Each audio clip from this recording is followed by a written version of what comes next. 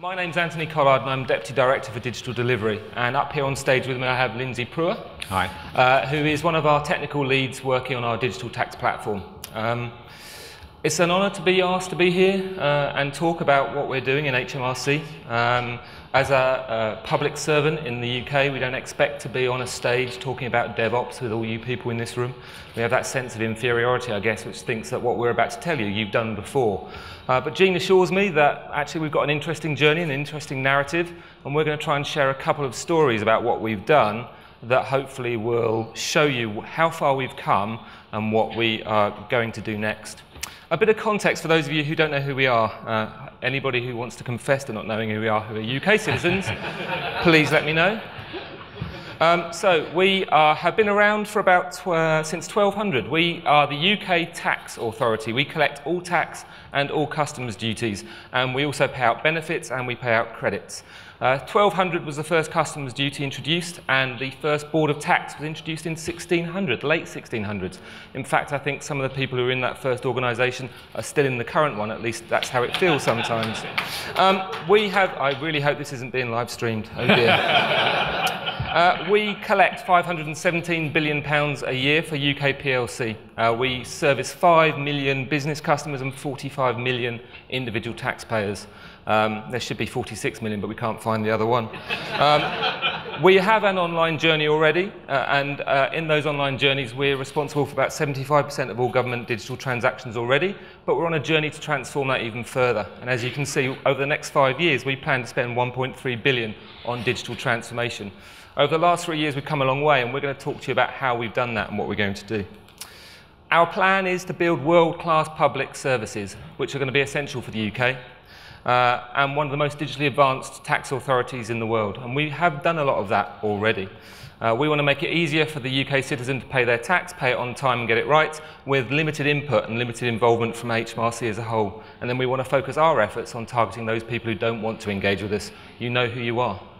Um, we also want to be one of the most technologically advanced workplaces, and we've started that journey. We now have, as Lyndsay will talk about, six digital centres around the country, and I have 850 people working in them doing agile delivery.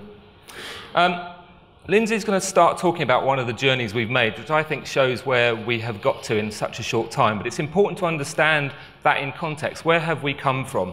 Uh, in 2012, uh, we were a typical organisation, much like some of you, but probably typical to government. So we had uh, uh, all of our IT outsourced. We had no in-house capability whatsoever. We worked with four large partners, before that another company, to deliver all of our IT. We worked on tin infrastructure. We had resilience built in all over the place. We were very waterfall, and being government waterfall plus, therefore, you get to the point you should have delivered it, about a month later you deliver it, a bit late and a bit more expensive. So from that background, in, three, uh, in 2013, we, a small, probably embryonic DevOps revolutionary team suddenly emerged. And Lyndsay's, uh, uh, and as you look at where we've come from, there are two stories I think that resonate that show what we've managed to achieve since 2013. And Lyndsay's going to talk about one of them. Thanks, Antony. Every year between April and the beginning of August, about 4 million people were expected to renew their tax credits. Around 2 million of those people will choose to renew their tax credits in the very last week of this peak. There's a deadline on the 31st of July. And for many of these people, successfully renewing their tax credits affects whether they can get bread on the table at the end of the day. Before HMRC Digital, the predominant way of doing this was through the phone or through the post. And for anyone that's tried phoning HMRC, you'll know that we have infamously long wait times and they cause a, a massive amount of frustration to a lot of people that phone, particularly people that are phoning in for the tax credits. So about a year after HMRC Digital started, we looked at this problem and realized it was an opportunity to make life easier for these people. We stood up a team and they built a new digital service in eight weeks. It was a small service just focused on allowing people to come onto the platform renew their tax credits all the way through to back-end system. It wasn't very big, but it allowed people to complete their end-to-end journey without needing to go to the phone or use the post. We chose this particular problem to solve because it was safe to fail. If we didn't deliver the service in time, or if we had to take the service offline, people could still go back to the phone and the post. As I said, we built it with one team, a handful of DevOps engineers, and we were running our own stack in the cloud. We took a continuous delivery approach. We constantly iterated and delivered the service into production over a course of eight weeks. We thought we might get around 80,000 people using this service. But in fact, by the end of the renewals peak, we had over 410,000 customers go through it. And they were pretty pleased with the process. Our customer satisfaction rate for this service was 94%. Mark Dearnley, our Chief Information Officer, was interviewed a few months later. And he said these words about the service. He described it as being a seminal moment in the leadership of HMRC. HMRC is this massive organization, and when HMRC Digital was formed and we said we can shift traffic away from the costly phone and postal channels onto something called digital, people didn't believe it could be done. And this delivery in just eight weeks gave HMRC the confidence in the agile delivery of digital services and allowed us to grow further. So how did we get to this point?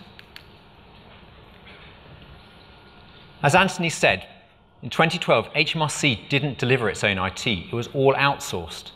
HMRC didn't have the technical know-how nor the culture to do agile, lean, or continuous delivery. Learning these kind of practices and going through a, a culture change is a bit like learning a new language. I tried to learn French back in the 1980s at a standard state school. So it's a normal kind of setup. We had a class of 30, a French teacher who happened to be Scottish, which is a problem. we had a textbook from the 1970s that bore no resemblance to everyday life, and lots of verb tables we had to learn. And as a real struggle, I made such little progress. What transformed my learning of French was when I went to France and lived with a French family for a week. We spoke French, ate French food, drank lots of French wine, and pretty soon, not only was speaking French fluently, I was also thinking in French. And so it is with changing the culture and introducing new practices into organization. At HMRC Digital, we started small with just one team of experts. We brought experts in from HMRC, so they, they know their business really well. We had digital service managers that were able to make decisions about what uh, we need to do in certain business situations we brought in the government digital service. They were experts in designing user-focused services and cutting through bureaucratic red tape. And we brought in a consultancy, Equal Experts. They provide the technical know-how, the ability to iteratively deliver services into production, and a culture of continuous delivery. As that team proved its value and grew, so other consultancies such as Capgemini, Accenture, and other SMEs soon joined us. In 2013, when HMRC Digital started, it was just one team of experts from three organizations. We started in London in a delivery center and quickly grew to multiple teams. By the start of 2014, we'd delivered three exemplar tax services. That gave HMRC the confidence to add a new delivery center up in Newcastle. So for the 2014 tax credit renewals delivery that I told you about, that was the first one that was done by a brand new team up in Newcastle. That eight week delivery of such an amazing service gave HMRC confidence in its digital transformation to grow further. So by 2015, when we're improving our tax credits renewal service, we had multiple teams working across two locations. They built a service that allowed us to double the number of people that renewed their tax credits online. That gave HMRC further confidence in our ability to do digital transformation and get people off costly phone and postal channels. So in 2016, we now have multiple teams working across multiple delivery centres. And this year, for the first time, people can renew their tax credits using our new mobile app. The tax credits peak is HMRC's second largest peak. So Antony's going to now tell you about our biggest peak of the year, which is the self-assessment peak. So one of the words that Lyndsay was talking about there was confidence. Confidence can breed cockiness, so I suspect that's where we ended up in this particular situation. we got through tax credits, we are also delivering loads of other services, and we looked at our next peak, Self-Assessment 2016. For those of you who live in the UK, you'll know self-assessment because it's the time at which, about January the 30th, you realise you've got to dig out a form that you got in April and you've got to file it before the 31st of January. Uh, we have 9 million people who file online by the 31st of January. Uh, and within that population are people who are in business and who we would expect to have to fill in a return, but also people who are just ordinary people in employment who might have other sources of income, uh, who in the future we would like to serve them through something our Chancellor announced in April, a tax account. So we got a little bit cocky and thought, well, wouldn't it be good if we could introduce these customers to their tax account as part of their filing journey for 2016? Great idea, let's do that.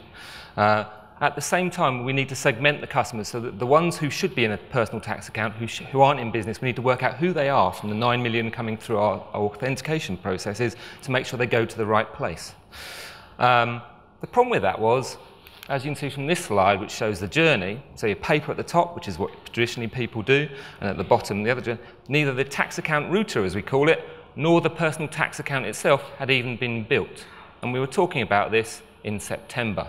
Uh, and we needed to deliver this in December. Boring, I can see you say. We've done all this before, you're not telling us anything new. So, okay, if you like a challenge, what else we decided to do uh, was, um, just forgotten the journey. Oh, that was it.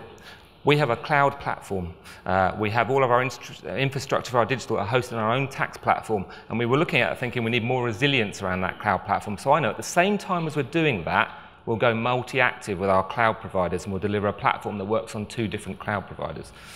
And then at the same time as we did that, because if that's not robust enough for you, uh, we're also in an environment where our IT suppliers who manage our back-end estate normally require us to have a three-month change freeze before that tax credit, uh, that self-assessment peak at the end of January. So um, yeah, our plan showed us building the tax account and the router right up to about the 30th. So we have a slight conflict in, uh, in our history. We have uh, old processes that say you can't do anything from about November when you must just sit down and not touch anything, keep your hands off the keyboard, uh, and us wanting to deliver something in an iterative way that would change how our UK citizens would, would uh, engage with us. More crucially, ooh, there we go. Sorry, boss. It just shows that we are watching. That's my boss telling me that I'm overstepping the mark. Um, we're watching all of you. Uh, the, the other bit about that is that the SA peak is really important to UK PLC. So if that, plat, if that service falls over, we get in the press very, very quickly. There are a number of uh, uh, press uh, who don't like HMRC. So if you fall over, great news story. Secondly, we collect one billion pounds. I feel a bit, I think Walt Disney are on a bit later, and I think I may be being controlled. Or maybe you'd have seen Mickey Mouse before they come on, who knows. Um, uh, we collect £1 billion on that last day of the 31st of January. So it was a big risk for us to take and to do this. And so we had to build it in such a way that it was safe to fail, i.e. that HMRC could control that router and that personal tax account and take them down so that customers could go from their first bit, i.e. the login that we already had, to the very clunky online portal for SA filing that some of you will know and love recipe for disaster, potentially. Uh, Lindsay will tell you whether or not it was, hopefully. Some might say it was. Thanks, Antony. Ooh, can you hear me at the back? Is this any better? Yeah? Okay. So here's some, some numbers. I guess no presentation is, is good without a bunch of stats. Uh, so this shows how our traffic varied between 2015 and 2016. As Antony said, in 2016, we made some changes that meant all of the SA peak was routing through the HMRC Digital's platform. So the two rows at the top show the difference between 2015 and 2016, how we increased significantly the amount of traffic going through our new platform. What's more interesting, though, is what the rest of the table shows. As Antony said, because HMRC Digital, we were managing the SA peak event, we had agreed, because we are a continuous delivery um, culture, we wouldn't have a change freeze. And over the peak, we still did about 33 releases. Now, with that amount of traffic and that number of releases, you think something's bad is bound to happen. And okay, we had some problems, but we had no P1 or P2 incidents, and we had no downtime. So how did we achieve this kind of change, uh, despite all of the other uh, product changes that we were making at that time? we improved our resilience. So we did what Antony said and we went multi-active. The previous year, we had had problems with our single supplier that provided our single production environment in terms of its reliability. So we set out for 2016 to have two production environments managed by two different suppliers and the ability to balance traffic across the two. In October 2015, we selected a supplier to work with, and then between then and December, we built a completely new production environment and the ability to balance traffic across the two. The bottom of these graphs shows the traffic in the last week of the peak and how it was split between the old and the new supplier. The graph at the top is from our busiest day, and it shows for about an hour when we switched traffic completely away from our old supplier onto our new production environment that hadn't existed four months ago. How did we achieve this kind of massive infrastructural change amidst so many other product changes? We believe this was due to the DevOps model that we've adopted at HMRC Digital. So this diagram shows two different types of DevOps models. On the left-hand side, you have truly cross-functional teams where the orange denotes a DevOps engineer in each product team.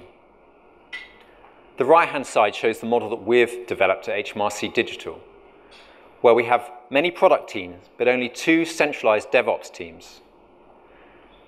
The focus of those two DevOps teams is to provide a, a, very high level of DevOps capability to the rest of the product teams. The way they do this is by focusing on providing a platform and the tools that allow the, each product team to um, achieve a DevOps capability themselves. So when a new product team comes onto the platform, they instantly have access to private and public GitHub repos.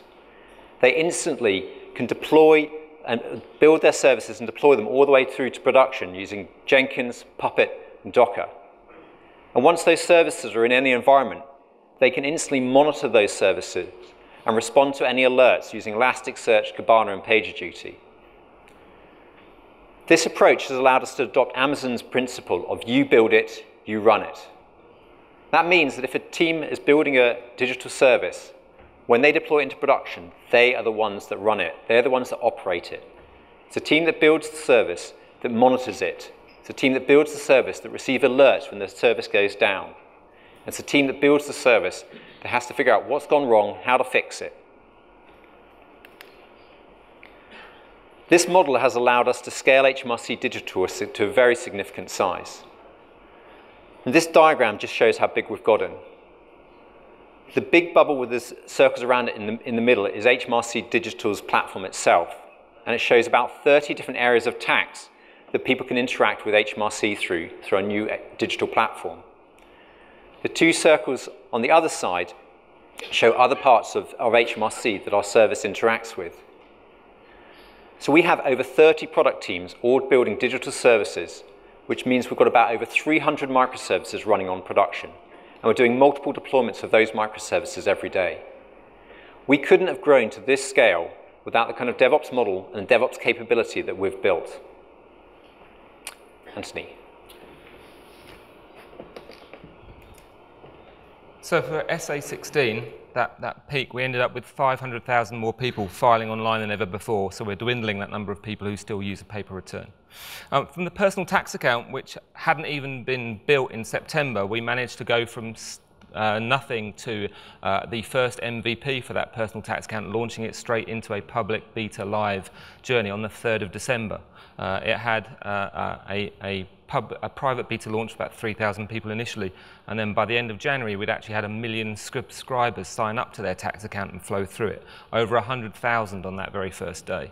As we stand now, we're over 2.5 million people have signed up to that personal tax account, which introduces them to the services that we hope that will be the future for how HMRC engages with uh, the wider population in the UK. Uh, we have aims to get to 7 million users by the end of this March, which will be a combination of increasing the number of services that we deliver through that tax account uh, and increasing the stickability of customers once they go in, making it interesting to use. And as Lyndsay said, we've also created a, a revamped an app that we did deliver a few years ago, which was a bit rubbish, uh, and turned it into something that is actually more transactional. So you can go into it now as a native app and log in as if you are, uh, are a, a, customer and start to service your account through uh, the other services that currently we only do on um, a desktop. Our plan for that is to expand it. So, and we're also looking at new ways to do authentication, biometrics and everything else that goes with it. So we want to make it as accessible for UK PLC as we possibly can. All of that has been hosted on the tax platform, which three years ago didn't exist. So, you know, we had a legacy uh, infrastructure state with all of our contracts being handled external to HMRC. In three years, we've built our tax platform. We, we are proud of the fact it did win an award last year, so we do mention it all the time. We're trying to gather awards because that, that tends to get me to my CBE, um, which I'm obviously looking forward to. Um, but we currently support 20, are you watching, Mum? Uh, so currently support 28 new digital services. As Lyndsay said, we're building at least 30. I have about 56 Scrum teams currently across the country working on new services, iterating the old ones and building the new ones. And you'll see many more coming online.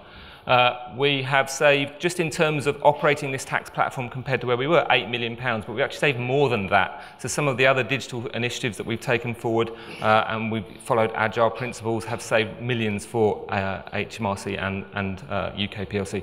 And, more, and the platform is now not just about HMRC, so we are working with at least five other government departments to use the capabilities that we've built to deliver digital services to the rest of the population. Um, so why did we bother turning up here? One, we were invited and we hope you found that slightly interesting. You may have used our services and, and, and, you may want to feed back on them. I'm sure you'll find us in the break. We'll be the ones in the balaclavas hiding. Um, look, I'm not sitting here saying we're experts. I saw the, uh, the, guy from Barclays, that was amazingly impressive, and we're nowhere near that level of capability. We are still children. We stumble, we fall over. I'm sure some of you have actually used a service that has fallen over. Um, I hate it when, one, when that does happen because my ear gets chewed off by a number of people, but we are learning as we do it. You know, we didn't have this capability before. More and more customers want to do things online, and we're helping them to do that. Um, what are we looking for? So Gene said, what, what, it, what do you want to come along from? I'm looking for, as a director of uh, digital delivery, I'm looking for people who are doing a similar journey. So people who suffer my pain, because it's very lonely when you're suffering the pain.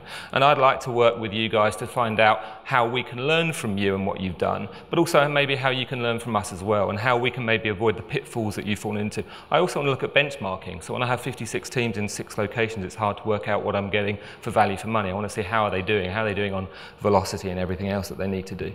And finally, if you're in the UK or if you're not and you want to pay taxes like Gene does, which is fantastic news for me, um, try, try the services out, okay? Try out this personal tax account. Go online. Give us your feedback. We value your feedback because you, you've delivered, delivered this kind of stuff before.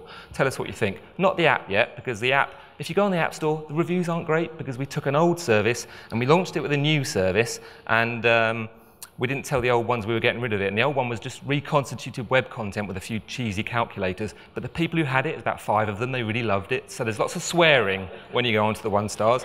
When, when we actually launch the new one, when we'll be doing some advertising for it, our expectation is that if you're a tax credit claimant in this company, country, you can sit on the bus on the way into work, you can log into your tax account, you can securely go in, you can renew your tax credit journey on the bus before you get to work uh, uh, without ever having to pick up the phone and speak to HMRC. And that's where we're heading. So I hope you, you found that of some interest. And if you want to have a chat to us, we'll be in the bar. Thanks very much.